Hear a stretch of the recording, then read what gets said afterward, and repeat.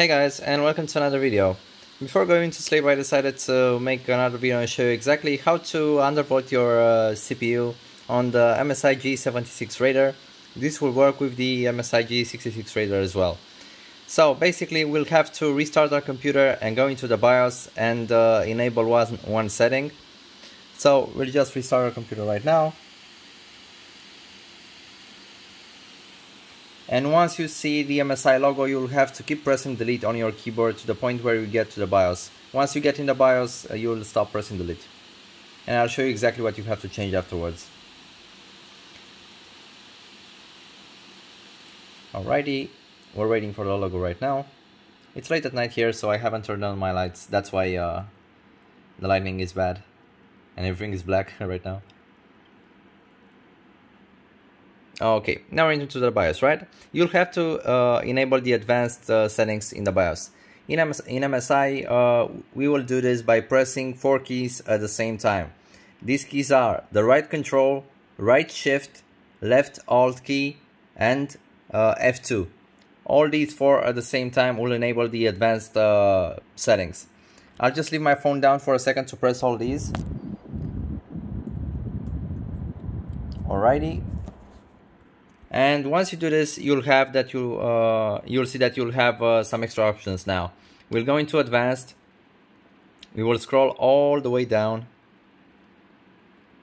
And we here we have overclocking performance menu. We'll open this one.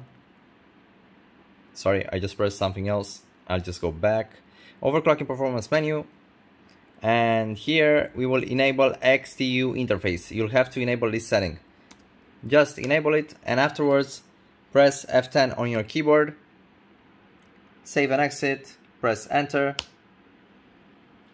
and now we will have to download the XTU software, the Intel Extreme Tuning Utility.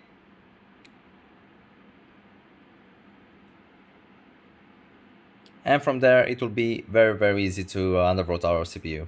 I will show you exactly uh, how much you'll have to undervolt it because I tested a lot of settings I tried to undervolt it uh, by 0.100 volts, but that wasn't stable at all. So I found the stable undervolt at 0.075 volts, and I had no crashes, no freezes whatsoever.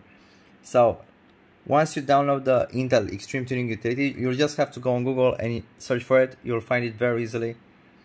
Just type Intel Extreme Tuning Utility, this one. And it's the first link just download the second one here where I have my cursor. And once you install so that software open it.